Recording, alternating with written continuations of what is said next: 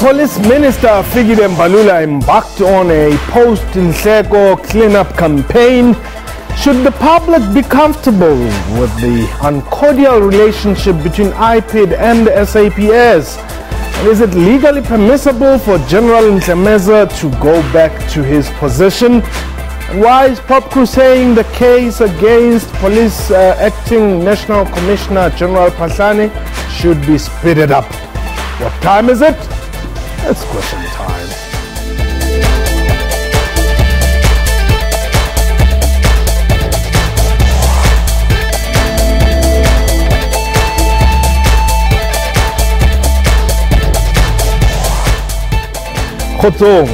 Welcome to the show. My name is Paul. Embattled ex-Hawks boss General Berning Ntlemeza has filed for a restraining order against Police Minister Fikile Mbalula in breaking news. Ntlemeza has been in the news after Mbalula relieved him of his duties last week, appointing General Yolisa Matakata as acting Hawks head. The police minister waged a scathing attack on Ntlemeza for reporting for work yesterday. He has, or he was warned to return state property, including a state car. He had instructed officials to hand him, which he apparently did.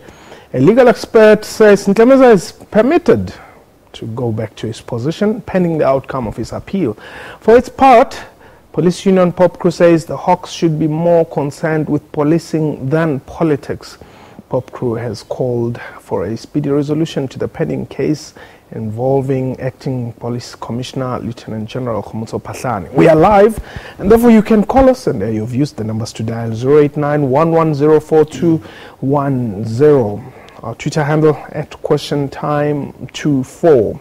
My guest today, Richard Mamabolo, is the spokesperson at the Police and Prison Civil Rights Union, POPCRU, that is, and Ulrich Roux is a legal expert, and uh, they're joining me today in studio, and we indeed will be welcoming your calls throughout this show. Gentlemen, welcome to the show. Let me start with you legally. I mean, there have been all sorts of interpretations. I guess that's the law. It's uh, up for interpretation. Um, would you say General Ntlemeza was right to go to work yesterday? Well, I think we must uh, take a brief look at the history of the matter. And uh, when General Ntlemeza was appointed mm. in 2015, the Helen Suzman Foundation and the Freedom Under Law Foundation immediately launched an application to say that his appointment was unlawful. Yeah. In 2017, the High Court in Pretoria adjudicated on that matter and handed down an order to say that it was unlawful. Mm. He then immediately appealed that his application for leave to appeal was dismissed. Uh, but then the Helen Suzman Foundation went one step further and they applied for what we call uh, uh, in the industry an execution order. Yeah. And that execution order dictates that uh, regardless of whether there's any appeal processes pending, the High Court order should take immediate effect. The problem with that is, is that uh, Section 18, subsection 4 of the Supreme Court Act states that when an ex- execution order is applied for, the person who is aggrieved by it, in other words, General Ntlemeza in this instance, has an automatic right to appeal that execution order mm-hmm. and that the status quo should remain pending the outcome of that appeal.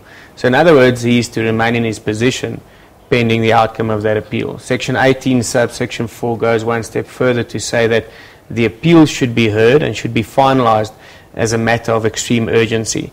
So, uh, you know, as much as, as the minister says that he was not entitled to return to work, and as much as the public wants to believe that, unfortunately, uh, Section 18, subsection 4 of the Supreme Court Act of 2013 says that he can, and, and we unfortunately cannot just disregard the law. Yeah. So, General Ntlemeza returning to work yesterday, he was uh, fully entitled to do so. So the story around the cars having to be returned and you know him not being allowed to do his work and all that, that's illegal. Well, obviously, there's uh, there's all sorts of intricacies now. Uh, you know, uh, acting head of the Hawks has been appointed.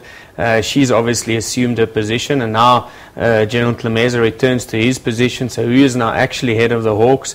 Is he entitled to use state-owned vehicles and cell phones? Those are, are policies and procedures uh, that need to be dealt with internally by the police and their structures. But uh, all the, the only thing that is clear in terms of the act is that he is entitled to remain in his position until the Supreme Court of Appeal has made a finding. I think what we also mustn't forget is that uh, upon him applying for leave to appeal, the High Court dismissed his appeal, saying that the chances of success are slim to none. Yeah. So him returning to work could be of mere academic importance. Um, you know, but I, I think that it's important also not to lose sight of the fact that the High Court, uh, in making a finding upon whether he was appointed legally, found that he was not even on the shortlist when he was chosen as head of the Hawks. He, his appointment was completely irregular. Uh, it did not follow any procedure. He was found to be a person uh, who did not possess of the moral and ethical standards to be appointed as head of the Hawks. He was found to be a person who lied under oath whilst giving testimony in a high court. And these things cannot simply be disregarded. These are, are issues which a court found upon, and yet we have this person returning to work. So certainly an anomaly that we are faced with at the moment. And uh, I think that everyone is, uh, is keen for the Supreme Court of Appeal to make a finding as soon as possible so that all of this confusion can be uh, done away with. What is point, uh, um, standpoint in this matter? Look, I think uh, everybody can interpret the law in their own way. Of course, there are different interpretations that have been there. But uh, our understanding on this matter has been that uh, since the minister put out put out his uh, appeal, uh, you remember the minister withdrew his appeal. we have not heard of any appeal from Mr. Ntlemeza. But again, if that is the case that he did uh, yeah, the Supreme, the Supreme, Court has yes, confirmed. Yes, uh, apparently last week Friday. Mm. Uh, you'd remember that uh, uh, the, the, the minister had appointed an acting head of Hawks uh, before then. Our understanding would be then be that if that's the case, we agree that, uh, of course, if there is an appeal lodged, of course, the judgment should be set aside. Now, uh, our thinking is that it is the minister, the minister's prerogative then to say, since we do have a, an acting head of Hawks, uh, they can then place Mr. Ntlemeza at a position that is the, uh, the, the, the, the, minister's prerogative. They can place him in a different post as long as it does not uh, hinder his uh, employment conditions. Okay, hold it there. Elvis, you're in Midrand. Welcome. Hello, hello, Hi. guest there. Yes, welcome. Um, well, the Ntlemeza issue is a problem in this sense. Okay. Um, that, uh, you know, um, the minister and the president, that it tells you that they, they, don't have the capacity. Because you need to follow the protocols. Like, for instance, when you appoint an acting person, before you get rid of that acting person, apart from um, uh, the legal aspect of it, you need to know what are the processes that need to be followed. Mm. Right now, we have acting, and now he appointed another you know, head of the Hawks. It's a problem. So it tells you that these people, they are loyal to themselves. They are, they are drunk with power. They think when they wake up in the morning, they can make any changes whatsoever as they wish. And remember, the state provides them with legal aspect within their departments, whereby when they need to make, uh, you know, decisions, they need to call these legal teams and say, how do we move from here? And they, they get a legal, you know, um, opinion, opinion, to say, this is how we're going to move. Unfortunately, they have to pay two salaries now. They are appointed and they suspended one and at the expense of the of the government. And it tells you clearly that ANC is drunk with power. They don't know what to do, and they are incapable. Unfortunately, uh, uh, in this one, you know, we have to suffer with Ntlemeza sitting there, going up and down, and you have another one who's sitting there. As they've said, if you have someone in the office and you have someone outside, and according to law, the person has to come to work and do his duties. Now you have two, two, two people. Okay. The other one that is appointed, if you need to be dismissed, there is a salary involved. Elvis, this is a problem. Thank you very much for that point. Well, indeed, this is, I mean, coming to think of it, um, you have at SAPS, you have an acting commissioner because the uh, commissioner, Riah Phiyega, is still uh, being paid. Um, now you have an acting head of the uh, Hawks, whilst the head is also there. So, yeah, there's a lot of actors. I agree. You know, you look at all of these press conferences being called and all of the, uh, I don't want to belittle it, but it's, it's like sideshow shenanigans and it's grandstanding in my opinion. All of that is going on and we should be focusing on fighting crime in this country and that should be the prerogative of the minister. Uh, and I agree that these issues must be dealt with as swiftly and as expeditiously as possible. Uh, you're sitting with, as the caller indicated, uh, you know, the, a person has been appointed as the acting head mm. of the Hawks, and now suddenly the head of the Hawks has returned. Uh, and according to the law, he's entitled to return. So the minister should never have appointed the acting head of the Hawks in the first place. Kenneth, you are in Sunnyside. Welcome. Thank you, Paul. How are you? I'm well. Thanks for the call. Yes. Paul, well, the issue with Ntlemeza, I think uh, the minister himself, he, actually he didn't actually get uh, proper advice the way he handled this matter. He should have got some legal advice before even approaching Mr. or the Hawks premises yesterday. So with regard to that, you can see that we still lack, or I'm sure maybe he's still within that, you know, sport portfolio, which uh, I think he needs to go and do some homework with regard to this, because it will, it might cost the, the, the, the, the minister as well. Okay, Kenneth, thank you very much for that call. Kulu, Yeah. um, who is to blame for that? Look, I think uh, part of the problems that we have seen within the subs, and of course, these uh, acting positions have, have firstly cost the taxpayers a lot of money, but secondly, you find people who get uh, to be acting, well, to these acting positions and then start fighting for positions at that level. You see, we have seen that happening in the last, well, uh, with the last minister, of course, and that has gotten so rife that uh, the focus on policing is no longer there, but uh, focus is on entrenching their positions in the hope that some would be appointed uh, uh, full-time commissioners and also on. So that has been part of the problem. What has happened, in fact, in the last few years was that uh, the reason why police were so demoralized and, of course, had no direction as as to how to act to combating crime was because of precisely that you have uh, those at the top only promote, promoting uh, uh, senior top leadership of uh, of the SAPS uh, that bloated the structure whilst on the ground there's nothing happened. But we are also glad that the minister has made a commitment that uh, uh, we will have police officers doing the work on the ground. And of course I think generally police are excited that we've got a new minister who's going to bring about change. We think that those are some of the elements which should be uh, addressed 089-110-4210, Twitter handle at question time to four. Those are the mediums uh, through which you can participate in this program. We're taking a quick break. When we return, we continue this discussion about General Ntlemeza. What do you think? Was he right to go back to work uh, or not? This is question time.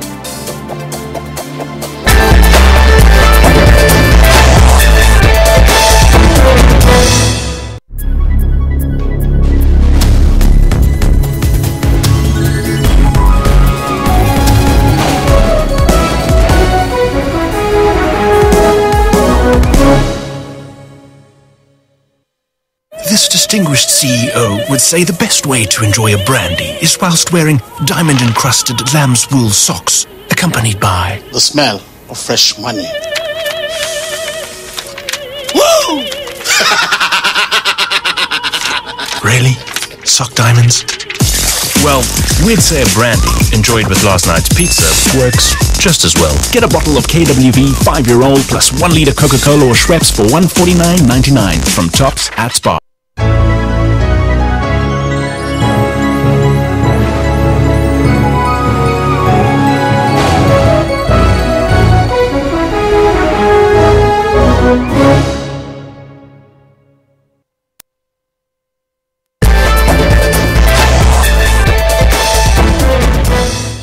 So, what can be made of the various utterances made by the police minister concerning General Ntlemeza? And indeed, is, uh, you know, General Ntlemeza allowed to report back to work? And as you have heard legally, yes, he is supposed to. But uh, the numbers to dial 0891104210 at question time 24 is the uh, Twitter handle you can use. But now, the minister then has been making a lot of statements about General Ntlemeza.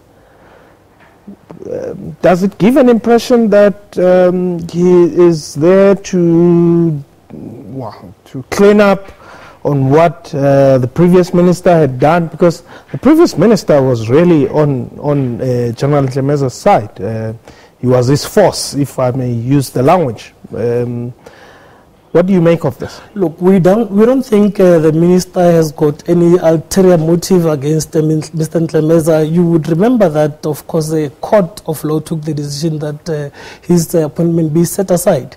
Uh, I, I, would imagine that the minister was merely following those uh, recommendations as made by the courts, and I don't think it would have anything to do with cleaning up. Of course, we need a lot of cleanup within the SAPS if we were to get it right, and of course, I think uh, through what the minister has said thus far, regardless of, uh, of the Ntlemeza issue, has been signifying the fact that we are indeed uh, working on a new path. It's a breath of fresh air for us. Uh, many of our police officers, of course, are excited that we've got uh, somebody who's uh, eager to ensure that there are changes that are going to make sure that uh, we improve policing in South Africa, but also improve the conditions of the police officers themselves. Okay.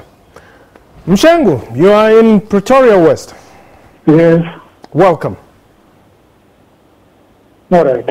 Baba kunjani? Ngiyaphila njani? Uyabona into ezisubuhlungu lapha kuleli lizwe sesithele nzima because into yonke ekhulunywayo fani ye-court. Endlini ethi ngabe baqale balindala lokhu ze loba becourt yakhe yaphela wayenza yaphili waqala manje ukuthi kulungiswe yonke into kusokuqhatshwa omunye. Same lo area the same thing. Akanitshela ukuthi i-direction esihamba ngayo yiphi. Mm. Inkundla inkundla enkantolo inkundla enkantolo azange ngethi ukuthi lo muntu akaqothwe emsebenzini. Yamisa.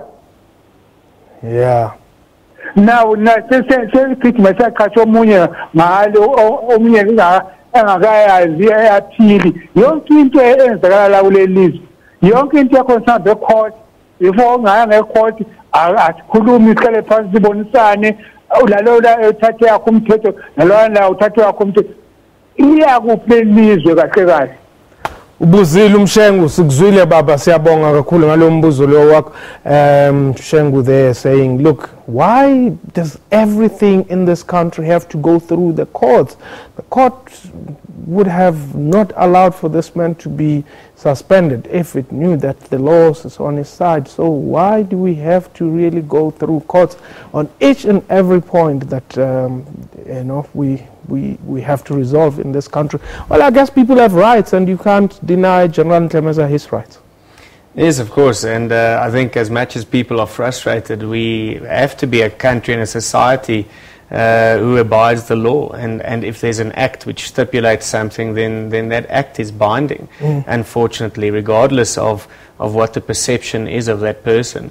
Uh, and I can understand the frustration of people out there. You know, um, I, I, would also think that uh, we would be very foolish to think that General Ntlemeza's appointment was not politically driven.